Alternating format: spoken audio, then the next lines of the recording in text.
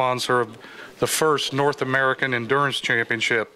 Uh, We had previously announced the championship. It's a three-race special competition. It encompasses the Rolex 24 at Daytona, the Sahlen's Six Hours of the Glen at Watkins Glen on July 1st, and the first ever Super Weekend at the Brickyard when Grand Am joins NASCAR Sprint Cup Series and NASCAR Nationwide Series in Indianapolis Motor Speedway. Our race, the Grand Am race, will be on July 27th. Um, With us today, we have the CMO of Visit Florida, Will Seccombe, the uh, CEO of Visit Florida, Chris Thompson, uh, Tom Bledsoe, Grand Am President, and a couple of our uh, key competitors in the Rolex Series, co-drivers number 40 Visit Florida Mazda RX-8 of Dempsey Racing. We have Patrick Dempsey and Joe Foster. A quick acknowledgement of some other uh, gentlemen who are here. We have Michael Printup of uh, President Watkins Glen, Mark Dill and Doug Boles, Vice Presidents at Indianapolis, Jerry Krisaloff, he's a Director of Marketing at Indianapolis Motor Speedway, and Sean Belgrade, the VP right here at Daytona International Speedway. They'll be available after uh, this event in the room outside of the main uh, media center if- anybody has some questions for them.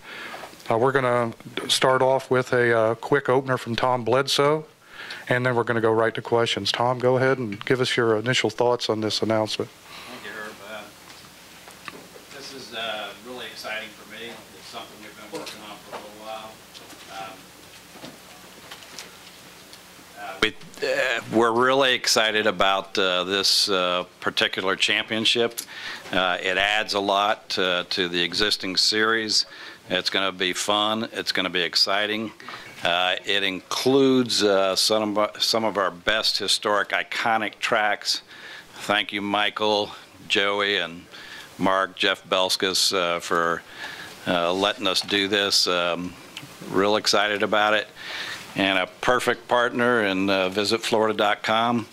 Our headquarters for Grand Am and NASCAR uh, is obviously here in Florida, so it's a perfect match, and we appreciate it.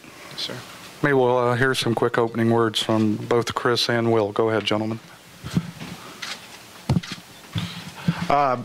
I guess I'll open up saying um, we're real excited about being here.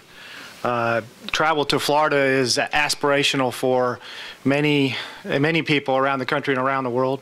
Uh, certainly, Grand Am has great reach and relevance uh, uh, around the country and, and around the world. Uh, excited to be associated with Dempsey Racing uh, and Mazda. Um, and um, uh, looking forward to a great weekend. Um, think there's a lot of things that we can do together, and certainly it's a great platform for us to talk about all the wonderful things there are to see and do here in the state of Florida, not the least of which is the ability for folks to come and enjoy uh, quality racing experiences uh, all over the state.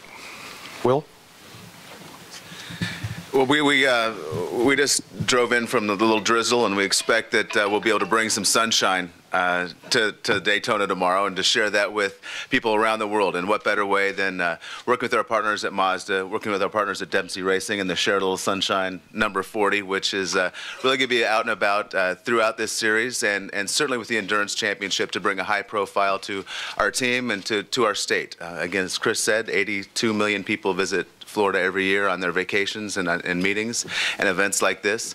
And there's all we need is to, to remind them. And this is a, a great opportunity for us as a, in promoting the number one travel destination in the world to be in front of a lot of really, really passionate fans. And that's, I think, why we are uh, most excited about partnering with Grand Am and uh, certainly uh, so excited about our partnership with Mazda and the Dempsey Racing team. And maybe now from uh, Patrick and Joe, just uh, some quick opening comments. Make sure that mic's clicked on. Yeah, thank you. Uh, as you can see how bright our uniforms are, we bring the sun in even when it's cloudy. Our car will be out on the track. You can see it going around. We're really thrilled with how that's turned out. Thank you very much, our partners. Our second year, uh, Visit Florida, share a little sunshine. Couldn't be happier. Um, always coming into Florida, I go in through Orlando, and it's amazing to me how many people you see from all around the world that come up and say hello. So it's a real testament to that city and certainly Florida, uh, attracting people from around the world. And uh, it's really great to be associated with Visit Florida and uh, ShareALittleSunshine.org and our other partners, Mazda. We've had a great relationship with. We can't thank them enough. Uh, Specialized Bicycle is great cycling down here too. Great way to stay in shape. And of course, with the sun, solar power, Citrina Solar. So all those sponsors make it possible for us.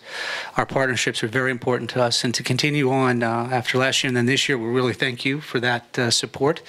Um, also, looking for the championship, I think it's going to be great for everybody. I know everybody in the in the paddock and all the drivers are very excited about this. It's a great opportunity. It's a championship within a championship. Uh, really puts a lot of uh, challenges to the teams and to the drivers, and uh, hopefully just builds an audience for road racing in this country, which I think is, uh, for me, very exciting to watch and to be a part of. Uh, and um, it's great to be here for the 50th anniversary of this incredible event. Um, it's just really remarkable to see the depth of the GT field the the people that have been here and have made so much history and to honor them, which is truly important. To remember where we've come from and to look to where we're going. So thank you. Thank you, Patrick. And Joe? I definitely like to uh, second the kind of the awe and respect we have uh, for for this event, and uh, what a great opportunity it is for us as drivers and team owners to, to partner with Mazda and Visit Florida and Grand Am in in uh, helping promote not only the endurance series, which I think will also bring hopefully other teams and drivers into the series because it's something that that uh, is a little bit more of a compact thing to do logistically. So it's going to introduce a better car count to the series. We're also excited as well to to take the Visit Florida message to all the markets that we go to, and we'll be doing a lot of great activation activities in those markets and look forward to keeping the consumers engaged with, with Grand Am, engaged with Mazda, and engaged with Visit Florida throughout the year uh, in a much better you know, way that can keep them and, uh, as fans into the future. All right, thanks, gentlemen. We're going to take a few questions. If you have one, raise your hand. We'll come around with wireless mics. Name and affiliation, please.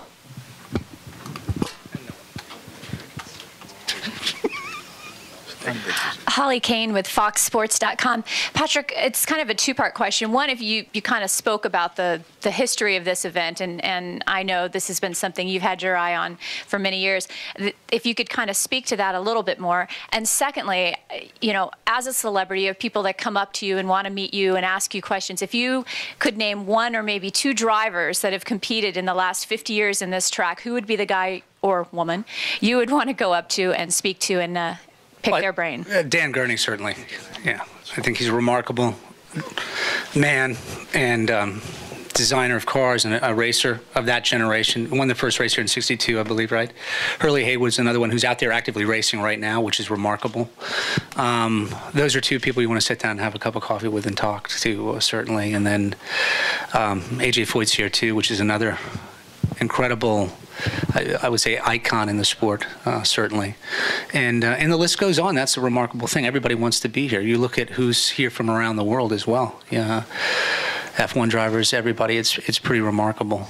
So if you had the time, you'd want to sit down with everybody. But uh, certainly Dan Gurney, I think, is really uh, is remarkable and, and deserves more due than he's received already. Quite honestly, and uh, it's great that he's here. And his son uh, is, is such a great representation of who he is as a father. I think he's done a remarkable job, and what a gentleman he is too. So it's nice to see his generation here, and and, and that's really quite beautiful. Thank you for that. More questions for our uh, table here. Right here, go ahead, please.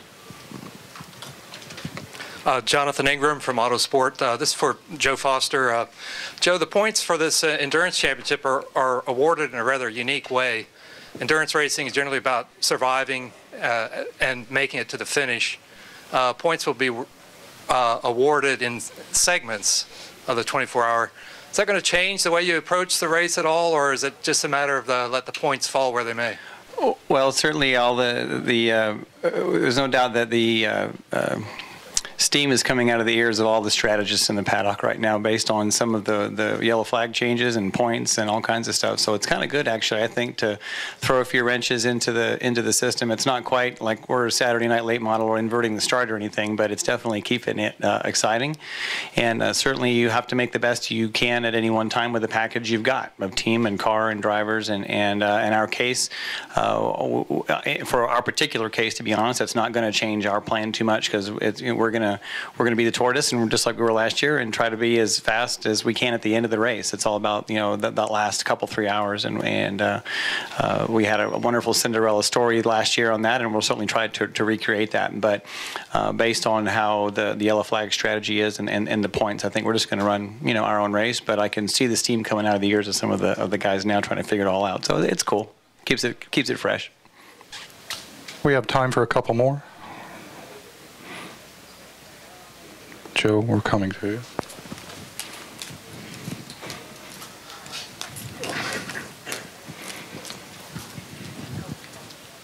Joe Jennings, Racing Nation. For Patrick and Joe, you've raced at here and you've raced at the Glen, but you have not raced at the Indianapolis Motor Speedway. What is the significance to you of uh, racing there for the first time?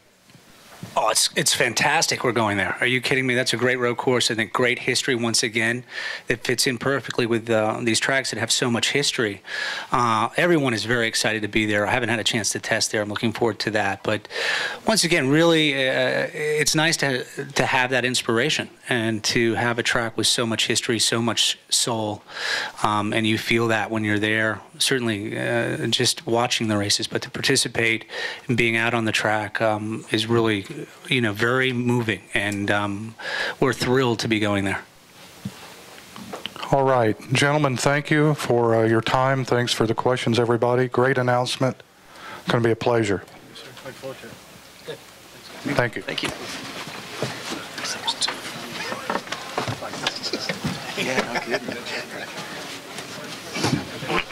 Just a quick housekeeping item. Um, During our press conferences, um, number of times we have photographers coming right in front of the table